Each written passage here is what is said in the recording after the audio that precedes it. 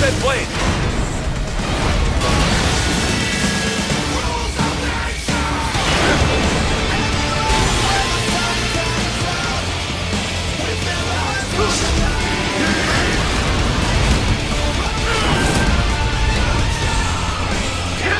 Yes! Waiting wide open!